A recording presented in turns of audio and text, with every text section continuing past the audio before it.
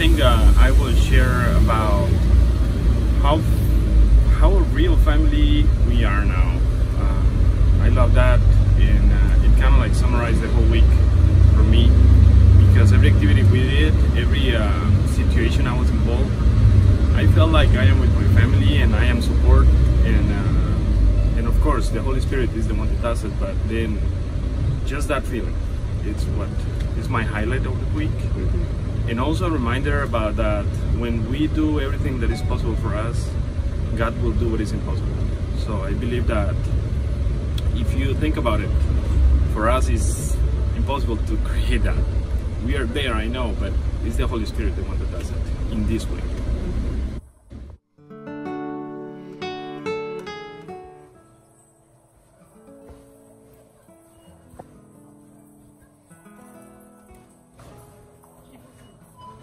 Sixty of those two, Hennis. You betcha.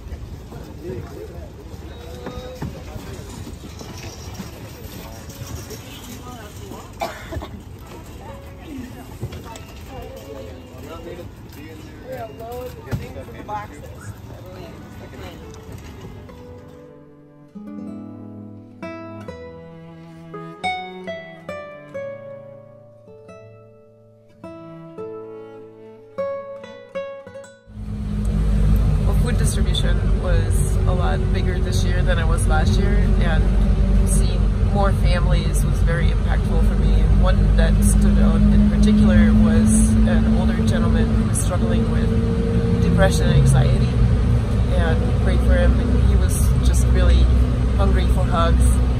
And he ended up coming to Celebration Sunday, and he was smiling, and that was just really wonderful to see him among people smiling yeah. Also last time I was here it felt like we had brothers and sisters in Christ and this time it felt like we were visiting family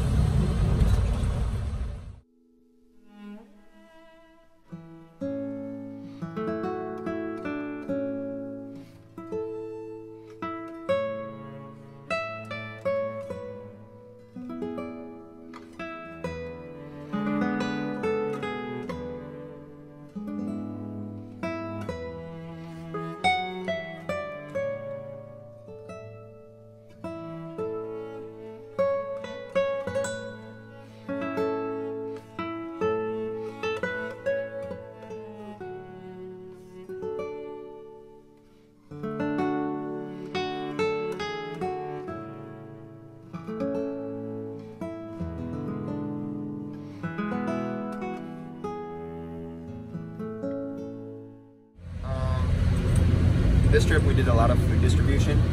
And I remember one house in particular it was this 94 year old lady. Um, she was the great grandmother of a man named Oscar. Um, so she would have uh, yeah she has a lot of grandchildren. Um, we'll, we'll just say that. Um, and anyways it, she, she had us all come in and made us all sit down um, and she, she was just so nice. Um, and then we found out that she really liked to sing and but she was having lung problems and couldn't. So my mom had an excellent idea of singing the doxology for her.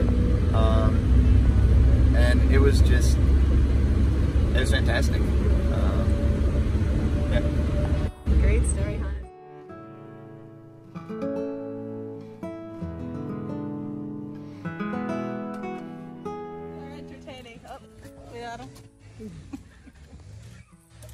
telling you in Spanish. Be careful. Be careful, Monica. I I don't know what you're saying, but I get the gist of it anyway.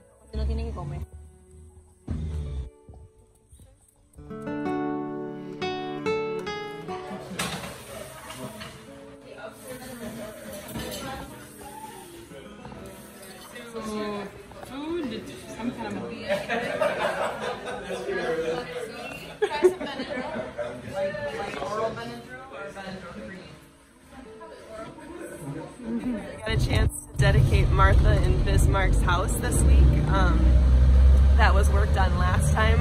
The mission team was down to Costa Rica and they were so excited to be to, for their new home. They felt so proud about it and we got a chance to pal around with their kids all week and just see how their daughter Paula is 14 but she is such a giving sweetheart. It was just it was awesome to see the way that those women take their their children with them on our on our food ministry stuff just that they're showing them discipleship and and um, just that giving spirit already when, when they're so young. I just am so excited to see how those kids grow up to be what, what God's going to do with them through that example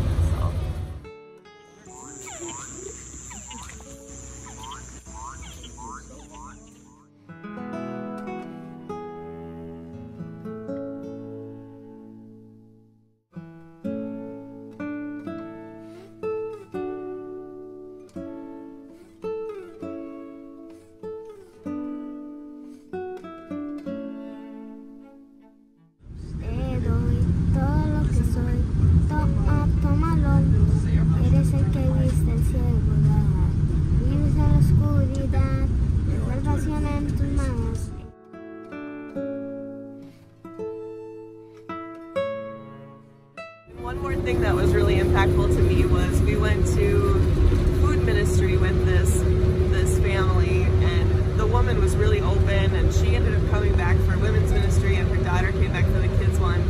But her father had just had knee surgery and he was there too and he wanted to talk and talk and by the end um, you know they didn't have anything to give to us when we brought the food to them but he wanted to dedicate a song to us so that was pretty awesome to have him of serenade us. So.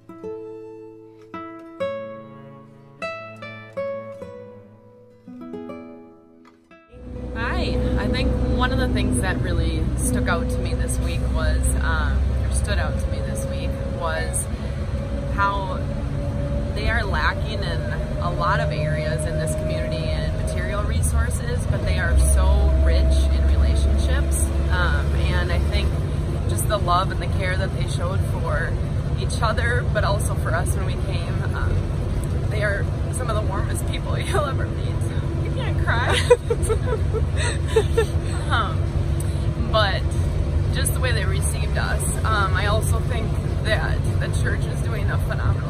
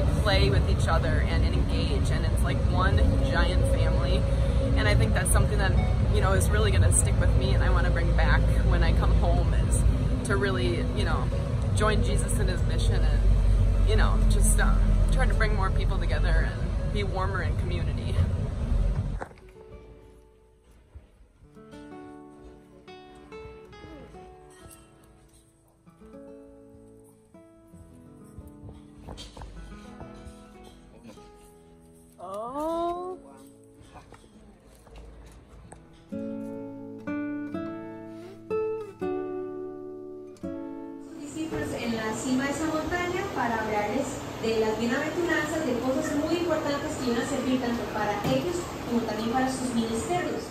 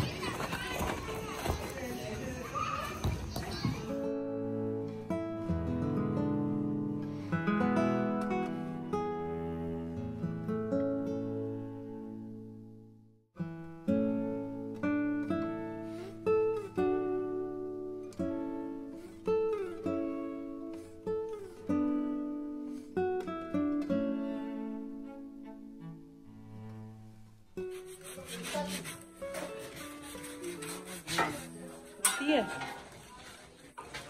¿qué estás haciendo? Um, one of the really important things that stuck out to me this week was there's this our very first house for food distribution. There was this girl named Isabel, and there she's with her husband, and she has three kids. And the night before we showed up, she was praying for because she didn't have anything to eat that day. And I think that it was really cool that that was the very first house we went to, and it just shows that like God does have a plan for us, and God knows what we're all going through, and that He's there for us.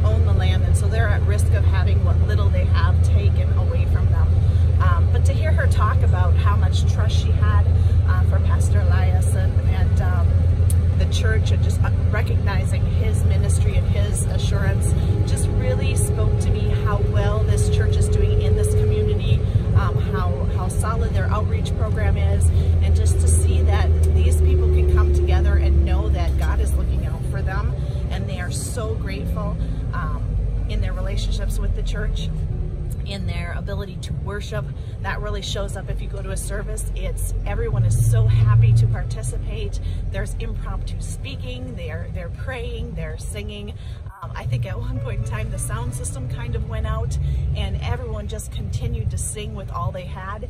Uh, not sure they were all on the same verse or in the same key, but it was just such a glorious experience to know that they just want to participate and worship. And it just kind of reminds me how often we take for granted the gift of being able to worship. And uh, God's there, and you know, to worship Him just brings you more joy.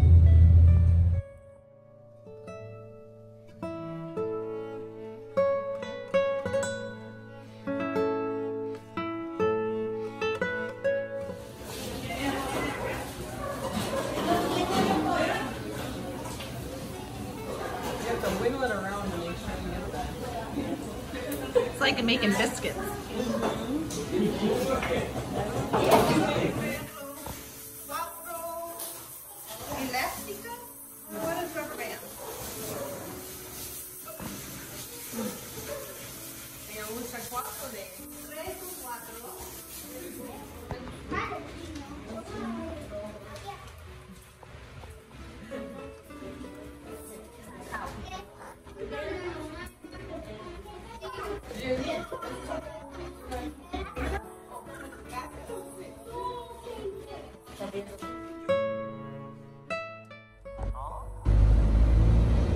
Don't know if you're gonna put these in order or not. but Kyle kind of mentioned men's ministry, and I'm gonna go back to that one. Mm-hmm. It was really impactful to just see all the different stories that the guys were sharing of their life experiences. Mm-hmm. In some ways, it kind of seemed like they were trying to help the younger missionaries out somewhat too, with telling us stories of some of the different crazy life experiences they've had and some of the struggles they've gone through to get where they got to.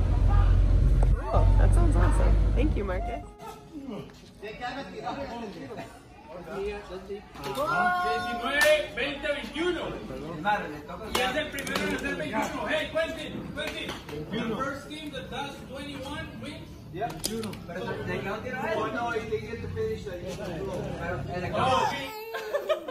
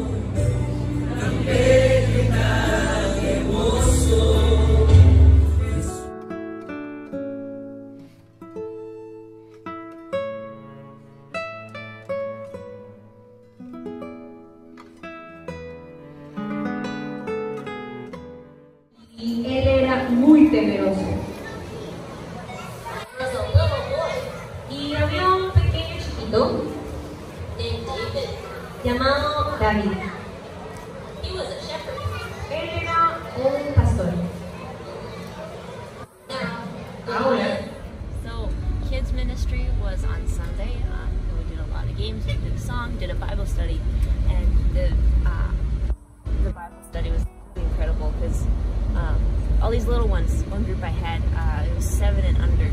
They were so confident in their faith and what they believe, what they believe, and they're really enthusiastic about it. And it was really cool to see faith like that in so young.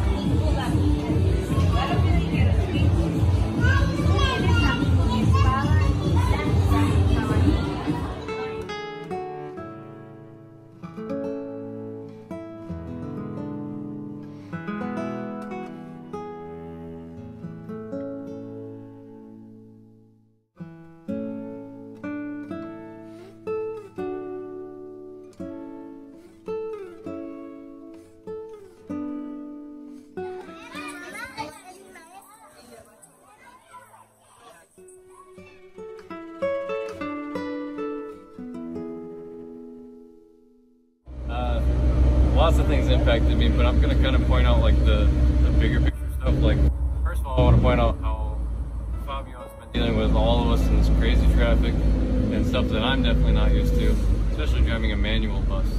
That is crazy. Um, but he very he really opened up through men's ministry and on the fishing trip yesterday, and just became more and more involved, even when he thought he wasn't really included.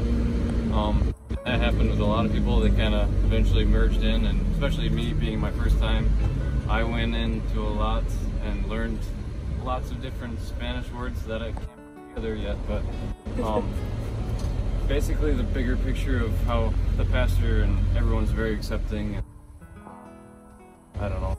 I learned more about Quentin. And we got to have a good time fishing, and Ed got to display his love for babies, and got to hold a couple of them, so he was super happy. Mhm. But uh, the other thing is just, it seems like the relationship with God that people have a struggle with, it's even their smaller relationships between marriages and stuff. Mm-hmm. And I think that's the relationship with God is first, but they also should try to mend those because it's all connected in one big sense. So that's kind of what I learned. Struggles, but all together, everyone still comes together at the end of the day and has a great day. So Yeah. that's what I learned. So.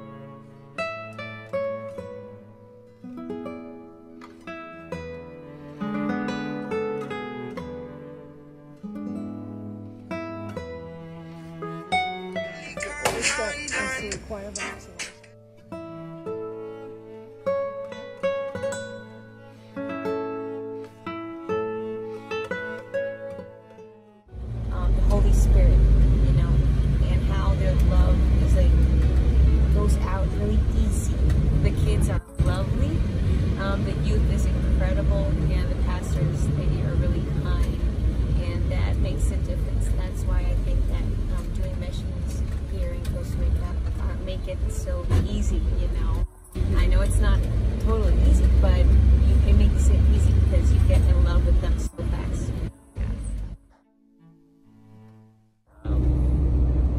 think about what mission work really is, whether we do mission work back to home in our cities, our local places, or we do uh, mission work up in a foreign land. Uh, it's all the same. It's all God's plan for us to help others, and especially working with doing mission work within a community.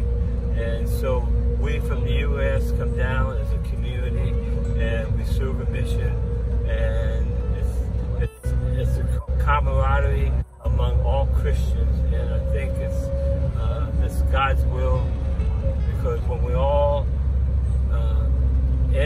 life in eternity, we will be together and like I said before, as happy as you are here on earth, you're going to be 10 times happier in heaven. God bless everyone.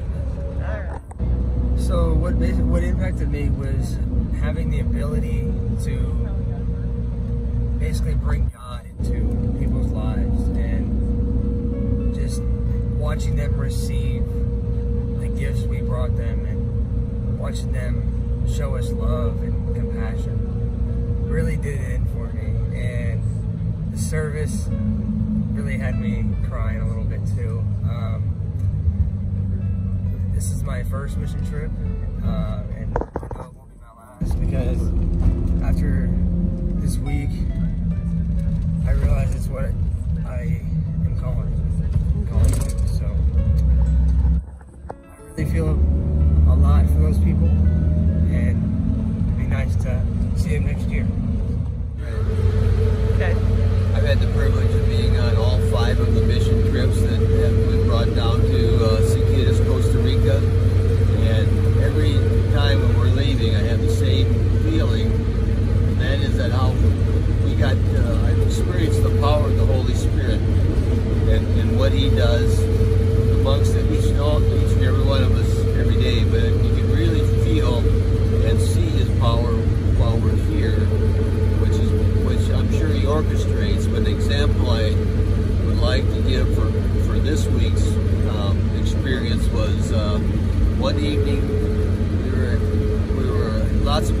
at the church, probably 75 to 100 people at the church, and this young lady comes into the church compound with her little baby and asked to speak to the pastor.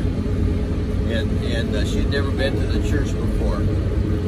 And uh, when he started talking to her, he found out that um, she'd come for help. Her mother-in-law was unhappy that the fact that she had just had a baby boy, the grandmother wanted a baby girl, and so she came in and she burned all the baby's possessions.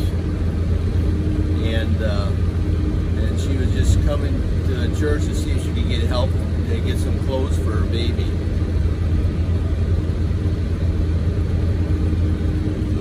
Pastor said something to uh, one of the ladies in the church. In the middle of all everything was going on, a few people disappeared and clothes started coming.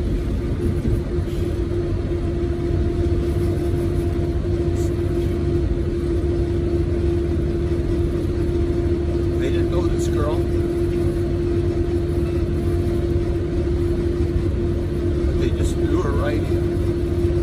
And uh, we have to have an extra set of food for food distribution. This pastor knew that situations like this come up every once in a while. So we'd asked her if she needed food when she came. She said, no, I just need some some clothes for my baby. And uh, people took her home and took the kitchen. She had no food. And uh, she was so thankful. But those folks in the middle of kind of a, we were having kind of, I would say, a, a church party. And, and they just immediately responded to that need.